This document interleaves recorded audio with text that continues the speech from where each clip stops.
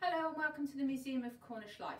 My name is Isabel and today I am going to show you how to make a hanging advent calendar because it is lots and lots of fun.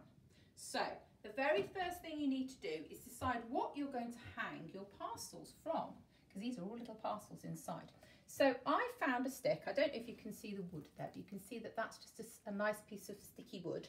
And I got two Christmassy colours, red and green, and this um, and it's, it's really lovely. It feels really nice actually. And then I just wrapped them round and round and round and round and round and round and round and round. I kept going and kept going and kept going. So I got right to the end and then I tied it off.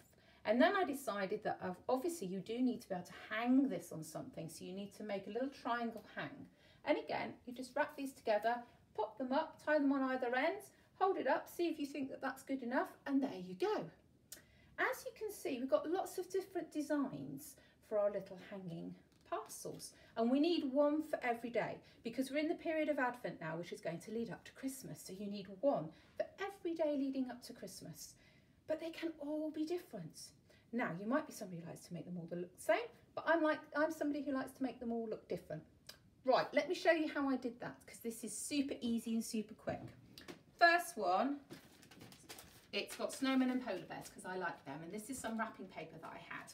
Cut a piece of wrapping paper out, okay, but before you go any further, decide what you're going to be in your parcel. So I've got some really lovely things here. These are stickers, which I think are great. They're winter stickers. So I've decided in this parcel, I'm going to have a polar bear and a Christmas llama and a little Christmas box. So I know all of those will fit in there.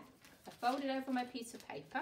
I just fold the signs in. As you can see, I'm not very good at cutting out and my edges are a bit rough. But this is why this is brilliant because it doesn't matter.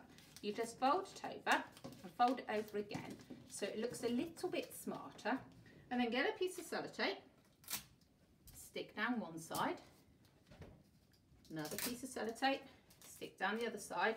This is the crucial fit bit. Don't forget to put your present in before you seal the top bit, otherwise it's quite tricky to unseal it again pop your present in, give it a good shake, and then fold it down. I'm doing a double double fold because I like double folds. See, now you can see I've got a little packet. Lovely. Put a bit on there. Now, next thing, don't forget to put the date on, okay? So this is going to be for the 9th of December. So I need a little bit of glue. Nice little bit of glue there. Lovely. And stick that there. Lovely, so we know that's on the 9th and then we need to be able to hang it up. So I quite like the red to go to match with that lovely scarf on that snowman. So flip your parcel over, get your piece there, another bit of sellotape and then stick it on firmly. Okay, give it a good stick, make sure it's down. And then all you've got to do is hang it up. Well, I'm going to put it in there.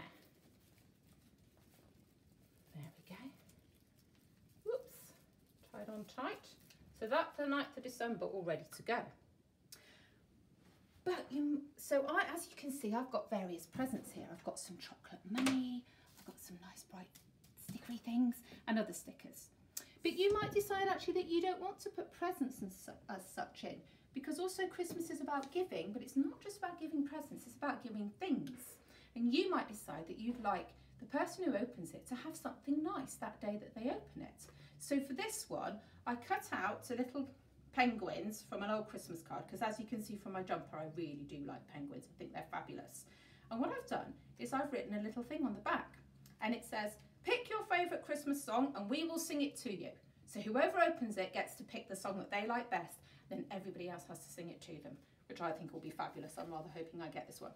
Um, I found some envelopes lying around. Don't know where the cards went, but I've got the envelopes. So I thought actually quite nice to have this one in an envelope. Pop it in there, stick it in there. Not going to lick it because it tastes yucky. And then another way hanging things is you could make a hole. Get a little hole punch. Make sure you're not going to punch the thing that you've written inside. Punch, punch. Lovely. And again, I like red and green. So I'm going to have a red and I'm going to pop it through there. Go through, go through. And that's ready to go. But what have I forgotten? I've forgotten to put the date on. Now, I could stick the date on, but because this is a nice envelope, and we like to write things on envelopes, don't we? I'm going to write the date on. 17th December. There we go. That's a great big one. And again, I'm just going to pop it on here. Off we go, tied on. Need to get quicker with my tying. Oops. Stay. Brilliant. Um, now, I made this one from a stick, but don't worry if you don't have any sticks at home, because I'm sure what you do have at home are lots of cardboard tubes. Okay, what you can do, get a cardboard tube, cover it with a piece of wrapping paper that you'd like, or it might be from a magazine. You might have some old wool at home, put the wool through and you can use that to hang as well. The other thing is to remember is think about what you've got inside your parcels, okay? So if like me, you may have put some chocolate money in, make sure you don't hang it over a radiator and make sure you don't put it anywhere where any pets could get to it, especially cats, because it is dingly dangly and they will love that. So make sure it's hung up high so that nobody can get to it before it's the time to open. You might also want to try this as something that's not maybe just for Christmas. You might want to do a countdown to the new year. You might have somebody in your family that's got a birthday that's coming up and that maybe would like a countdown to their birthday. Or Christmas may not be something that maybe that you celebrate that much in your household, but you can still do this and you can make it as a countdown to anything you like that's fun that's coming up.